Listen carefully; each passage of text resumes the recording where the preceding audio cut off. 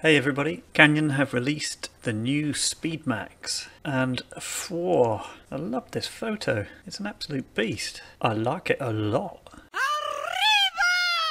As I mentioned before in my last video, I'm busy beavering away making a video of all the bikes I can find with the 105 group set on it, but bike manufacturers keep releasing bikes and distracting me, and very much so with this one, the new Speedmax CFR from Canyon. As soon as this popped up on my feed, I was completely distracted and couldn't concentrate. Now, I'm not particularly big on time trial bikes, it's not really my thing, but I sure as heck like looking at this bike. I think it looks very cool. And in fact, it's not UCI legal, so so it's mainly going to be bought by triathletes, I imagine, Iron men and women. And why not? It's rather funky. And if we compare it to the outgoing Speedmax, clearly it's a radical shake-up of what they had before. And way way nicer to look at. Obviously the old Speedmax had these stick-on lunch boxes all over it for putting your gin and tonic in. And as you can see here we've got a big old shake up in the rear triangle as well. Radically different. This is interesting, this sort of split angled chainstay Presumably that is more aero, is it? I can't see what other reason you would go to this trouble. If you know, put a comment down below. Got a super beefy seat post. And as for the new forks, they're like something off a fighter jet or something. I love them. Awesome. So the title of this video was the Speedmax versus the Aeroad. And that's what we'll have a look at next. And the reason I wanted to look at that was because if, and it's a massive if, because for me swimming is the last thing on the planet that I ever want to do. But if I was thinking of getting into triathlon, actually stumping up the cash for a dedicated time trial bike is quite a big deal. And you would probably consider just going for a normal road bike that you could put some clip-on bars on or something like that. But obviously you'd want that as aero as possible. So what is the difference between a triathlon TT bike and something like the Canyon Aeroad? The aerodynamic road bike from Canyon? Well, we fade between the two. A lot. They're massively different. So the Aeroad released a few weeks ago, and unlike Specialized, Canyon have stuck with full-blown aero road race bike, but in comparison to the Speedmax, it makes it look like your nan's shopping bike. The Speedmax is insanely styled with aero in mind. The difference in those forks is insane. Much beefier seat tube and deeper seat stays. And then you've got much more conventional chainstays on the Aeroad. And obviously very different up at the head tube here because clearly we've got the aero bars on the Speedmax and just conventional drop bar, well semi-conventional in that they are integrated and do the weird adjustable width thing, the new thing from Canyon, but basically conventional drop bars here. Which makes the layout of this whole area here very, very, very, very different.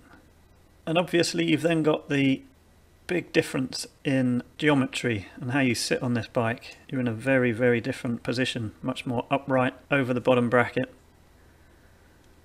and over the front wheel. And I was reading up on some articles about why the geometry between time trial bikes and road bikes is so different and there's various reasons, but one of the main reasons they found was that for triathletes, this position means that when they get off the bike, their leg muscles are much more happy about running than if they use a more conventional road bike geometry. So that's one of the reasons. One of the reasons you don't really want to be sat so forward and over the front quite as much if you're on a road bike is that that's going to make the bike a lot more twitchy, aka Chris Froome's accident on his time trial bike when he got taken out by a gust of wind, albeit that he did have his hands off the handlebars at the time, but the time trial bike is going to be more twitchy than the road bike. So I did spend a bit of time reading the bump on Canyon's website. The frame set's 200 grams lighter than the old Speedmax. The new Speedmax is 9 watts faster. We've got ultra thin 8mm seat stays and a big feature on this bike is we've got a lot of integrated storage and places to put your groceries. One of the things we have here is a little sliding panel that you can put your scuba gear in, so that's pretty cool. And then this is a very cool thing here is that you can put a bladder into the frame of the bike and then you just squirt bottles into it. And this has got some special valve on it to stop it splashing out all over the place. So that's that's cool. I like that. Speaking of nutrition, does anybody find when they're going full gas on a chain gang or a pace line or just in a group, everybody's going as fast as they can. Does anybody else find it really difficult to get a gel out of your back pocket, open it, get it in your mouth, and then get the gel packet away somewhere under your jersey or something so that you don't chuck it into the bushes? Or is that just me? I find it unbelievably difficult and consequently can end up not taking on enough sugar on a hard ride. I've also found that if I can actually get a whole gel into my mouth, it's actually a bit bit too much for me. I'd, I'd rather only have half a gel, too much sugar, and, and I have definitely seen that I get cramp if I have too much sugar all in one go. So I prefer to have half a gel at a time, but then putting a half gel back in your pocket is again a complete nightmare because you squirt it out all over the place. You get it all over your hands, then your hands get stuck to the handlebars and you can't get them off. It's ridiculous.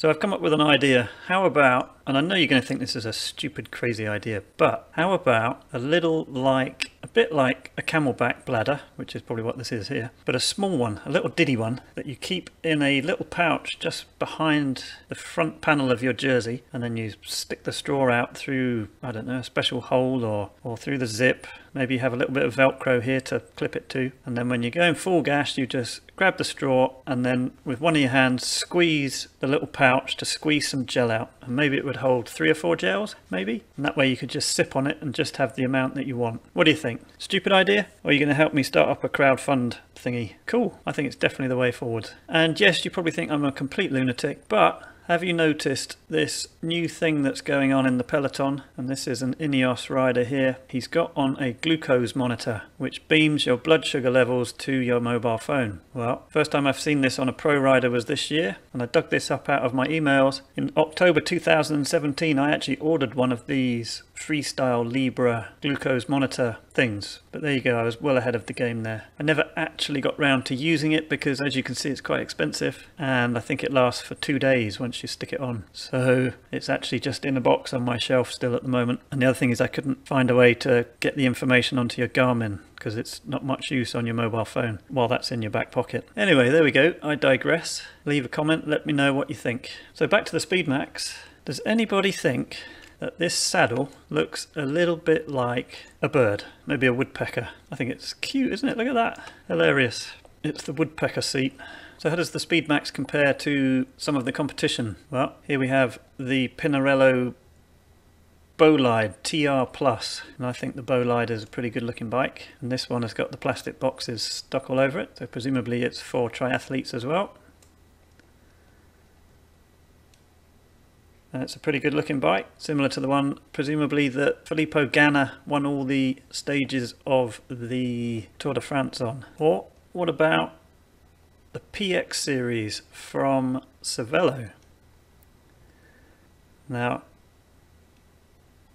I actually find these shape bikes slightly revolting, so I don't really like looking at that. But presumably it's super aero. Cervelo are pretty good at the whole aero thing. It's funny, I don't like this shape here, but I do quite like the fact that the back wheel is completely exposed like that. I think that looks pretty cool. So which one would you buy?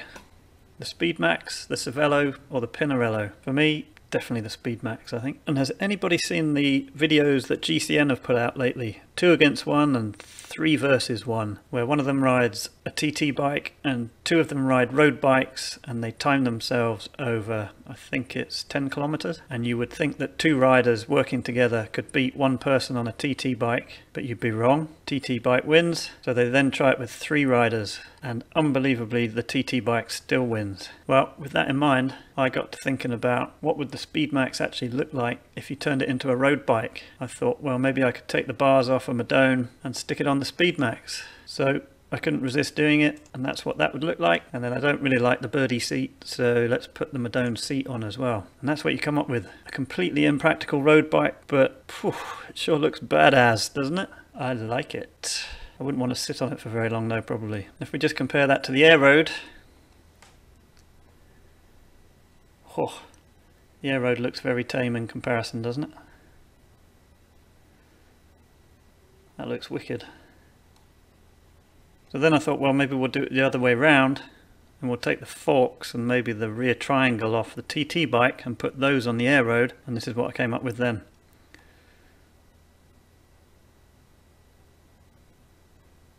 And that looks pretty cool as well. Probably slightly more comfortable to ride, I would think. That also got me to thinking that I've actually done something that looks quite similar before. And then I remembered the Ferric Cond Velo mashup that I did. I think I did it on the Felt ARD video that I made.